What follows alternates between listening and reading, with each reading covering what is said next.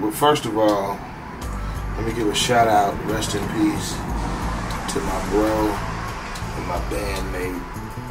You know what I'm saying? C-Knight from the Dove Shack, aka Mr. Arnez Blunt. You know, um, he's actually the founder of the Dove Shack.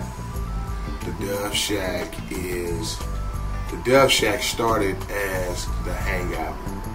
The hangout for the homies, our little crew, you know, um, at C-Knight Grandmama House.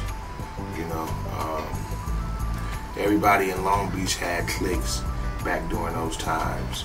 You know, uh, uh, Snoop and them had 213. You know, um, you know, you had Folsom, you had Perfection, you know, you had TFA, crews around Long Beach. So, you know, being our particular affiliation where we from in Long Beach, we adapted Dove Shack, you know, because our hangout was the garage and it was like a little bitty shack. So that's how Knight came up with the Dove Shack. He's actually the one that drew the logo as well.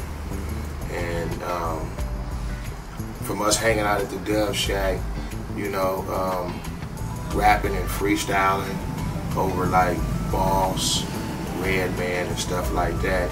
You know, we should just be rapping and rapping and rapping and rapping, you know. And um, Warren G used to come by, you know. He used to come by and say, what's up, get some weed and whatnot, you know, and made a connection with the homies and, you know, heard us bust and flow.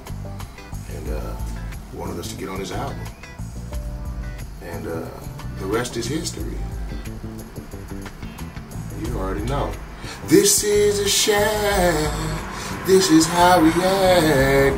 Caps IP. Packs my steel. Yeah, that was our cut on Warren G's album.